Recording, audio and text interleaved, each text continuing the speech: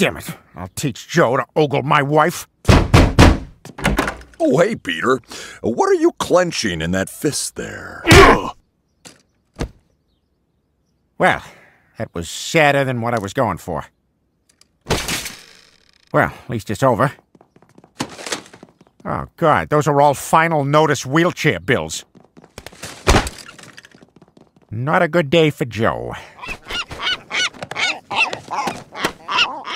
Not a good day for Joe.